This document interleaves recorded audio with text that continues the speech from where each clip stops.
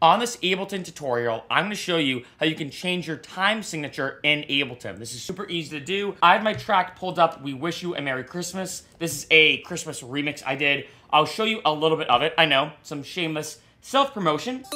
And as you notice, this is in 3-4, which is the original. And then I switch it to 4-4, and I have this drop.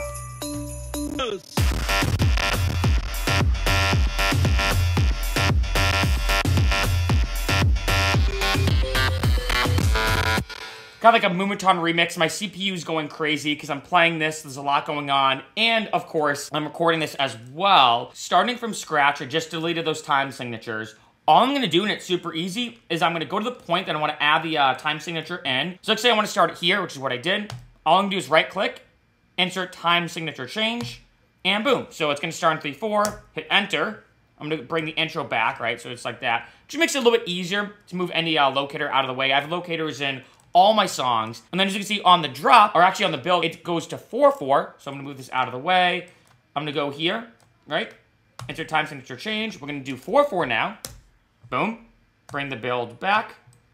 And that's it. Now as you can see, the song starts off in 3-4, right? Starting from the beginning. Goes all the way. Goes to 4-4. And let's say if I want to do another change, let's say I want to have an interlude that goes back to 3-4. I can always go say to here, for example. I can make this any time signature that I want. You know, if I want to do 6-8, for example, I can do that. If I want to do some weird one, 15-8.